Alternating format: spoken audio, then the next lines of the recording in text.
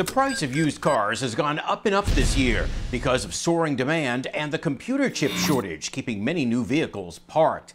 The result? Some one year old used vehicles can now cost you more than the same car brand new, according to iSeeCars.com. Among them, the Kia Telluride, $3,000 more for a used version.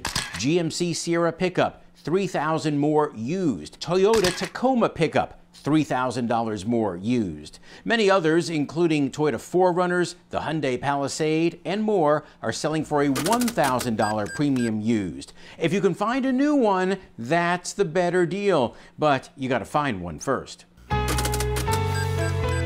And from the Doesn't That Stink file, the holy grail of cars you can't find. The new full-sized Ford Bronco. Used ones really don't exist. And one New York dealer is charging $30,000 over sticker price for new Broncos, according to Motor Trend. Doesn't that stink? It's crazy, but the good news is that like with all bubbles, it won't last forever. Dealers hope used car prices start coming back to earth in September when car sales typically slow down. Till then, don't waste